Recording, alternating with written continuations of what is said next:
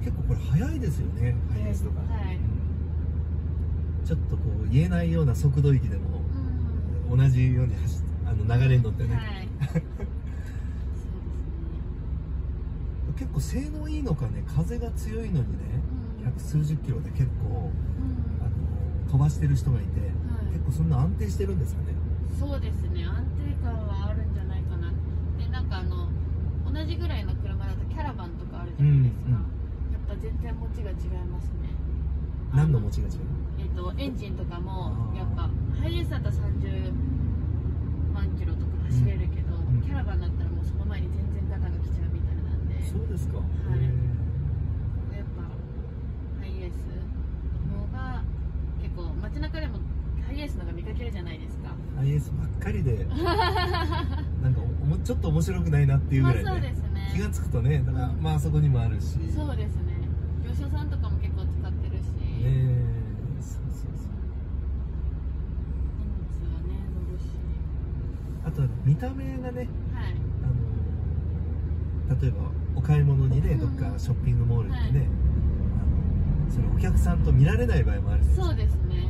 業者さんあっち回ってくださいみたいうな、ん。だからもうちょっとこう色とかは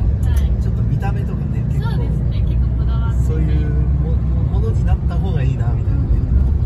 これいいですかまだあこんでなくて次の信号を左でお願いします次ですかはいあーこのこの信号ですトンネルトンネルもあるんですあねはいここを左でねトンネル入らないんでねはいあれだったらもうトンネル通るの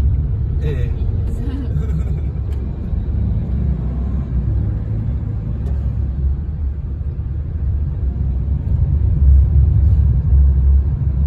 ガソリンとディーゼルってのはきっと別物なんでしょうねそうですね。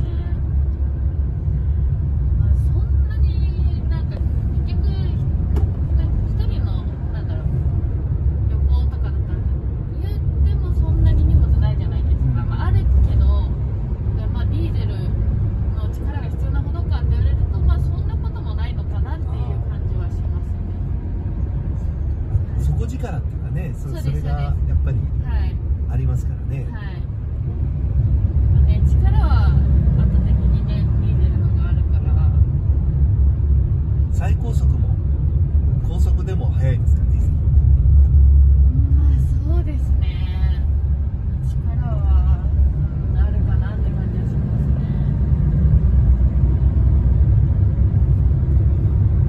まあ、やっぱり日産のキャラバンとね、はいなんかこうやっぱ比べられるっていうそうだと思いますおお互い意識してるのかねそうですねある程度はい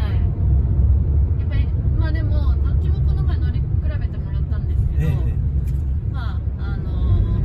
ハイエースの方がやっぱエンジンはいいのでその方はガソリンで乗ってもらってるんですけどあなるほどやっぱハイエースの方がエンジンはいいねっていう